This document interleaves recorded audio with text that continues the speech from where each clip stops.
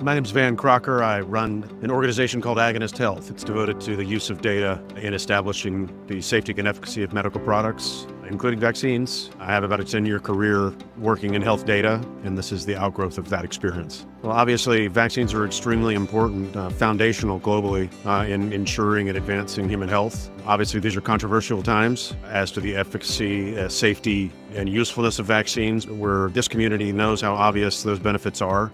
Uh, the general populace has shown a great deal of hesitancy and skepticism recently. I think uh, the great work, especially in health data, uh, of these kind of uh, professionals can turn that tide back if we work together uh, constructively uh, to find the right kind of communication.